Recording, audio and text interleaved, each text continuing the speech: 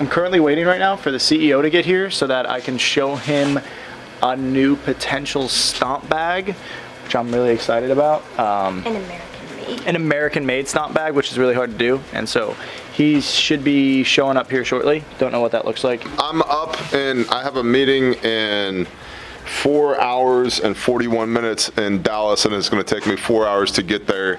So I got to grab kits from here, throw them in the truck, drive to Dallas, go talk with somebody so that we can sell kits and people won't die. 10 minutes out on the kits. They're building them right now. Hurry! Yeah, I just did that. Uh, can I show you something? Yeah. What's up, bud? On. So the other day you mentioned something. You were like, "Man, stop selling Condor because it's not American made." And I've been like in negotiations with two different bag manufacturers. Uh huh. So we just got our first one. Or Ooh, I can see it from her. This is in Ranger Green, multicam, black, coyote, and wait for it, red. What? what? Stomp Bag is SEAL Team Operational Medical Pack. It's a hospital that lives on your bag for when you are legitimately operating like an operator. Uh, but it also has a lot of applications for preparedness, um, for just general readiness, search and rescue, disaster relief, law enforcement, obviously military. There's a certain level of medical acumen that one should have in order to be able to use a stomp bag. You're getting beyond trauma medicine, the March algorithm. Uh, you're getting beyond uh, basic life support, airway management, bleeding control, and moving into advanced life support. That's why there's instrumentation in the stomp bag. Uh, that's why there's medication in the stomp bag. That's why you can, you know, have uh, IV start sets, transfusion kits, things like that, because it's advanced life support. Because the whole idea behind a stomp bag, SEAL Team Operational Medical Pack. So you got 14 guys who are on the ground for an extended period of time. Two of those guys should be medics or medic qualified. And if somebody gets shot, stabbed, blown up while they're operating, we don't just like, hey, can we get an ambulance over here to Ramadi? like, that's not going to happen, right? It's going to take a hot minute.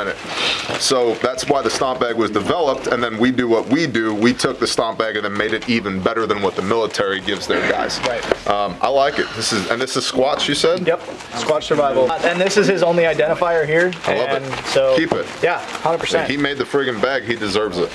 I've wanted one in red forever as well because all the tactical cool guy operators should have kits. They know they should have kits. But everybody else that doesn't necessarily need multicam, Ranger Green, OD, multicam black, right? Uh, Marpat, like the normal everyday citizen. I've wanted a red stomp bag forever. Right? And so the fact that he can make these in red is friggin' sick. It's red and then black webbing, so it stays exactly in line with what we already did. I dig it. TJ Morris. Chris Vick, nice to meet you. Good to meet you, Chris. Chris, Bob. Bob, how are you doing? Yeah, it's nice to meet you. So we started this in my barn three and a half years ago. Oh, nice. One hour a week. Uh, me filling orders by myself. And we'll, in March it'll be four years.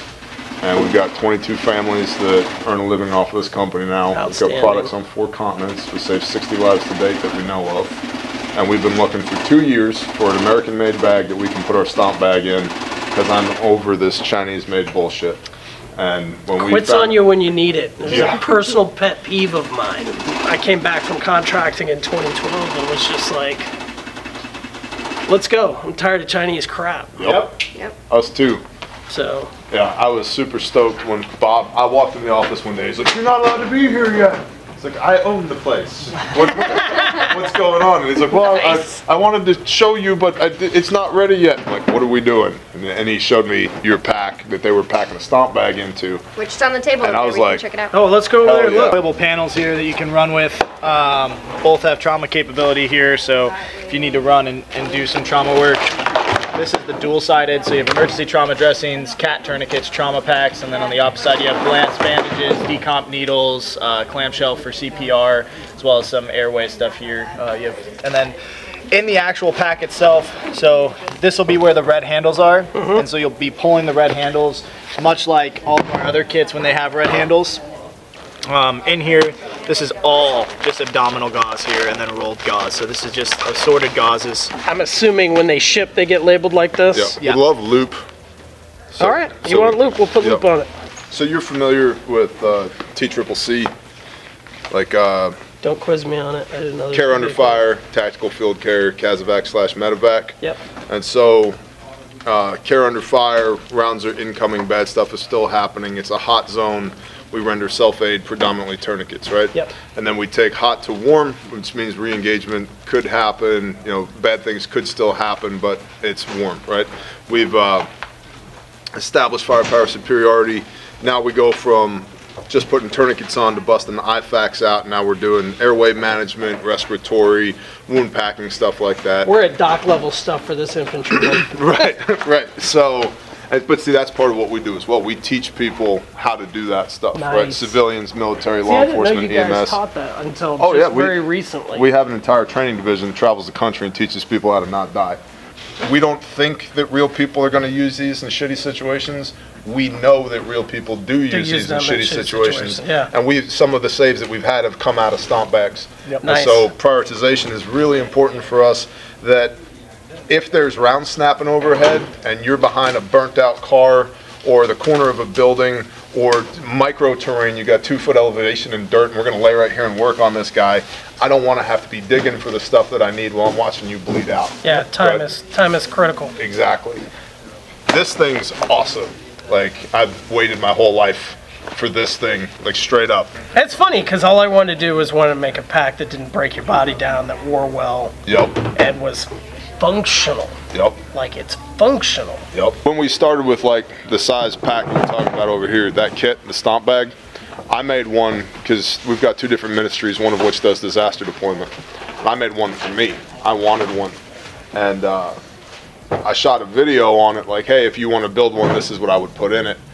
And a bunch of people were like, well, I, I'd rather buy one than make one. Yeah. It, it's a lot, it's spendy. Yeah. So I was No, no, talking no. with my wife, and she's like, "Well, just put it in the store. If you sell one a year, so be it. One a year." um, I've been blown away by the response to it, and then again, it's you know, there's the civilian side, there's the law enforcement side, but there's also fire EMS, Right. and then DoD. Uh, it's been really interesting to see who pops up out of the woodwork wanting these things, and I would much prefer to sell them that kit in your bag than to sell them. You know, the bags that we had weren't bad, but they're not this. This is finally the American made Stomp Bag 2.0 from Refuge Medical. I have been trying to find an American vendor for this bag for over a year. We've been working on refining this bag from Squatch since December of 2022. It finally launches tomorrow. This exceeds Naval Special Warfare specification for a SEAL Team Operational Medical Pack. It's the best freaking hospital on your back that you can buy. There's nothing else like it in the world. I don't care who says what. This is better than what SEALs run, and it's 100% made in America. It's guaranteed forever. If you break it, I'll replace it. If you use the components to save a life, I'll replace those. This is legit, like the best capability that you could possibly own as a civilian for trauma medic- medicine. It's it's incredible, and I'm super stoked about it.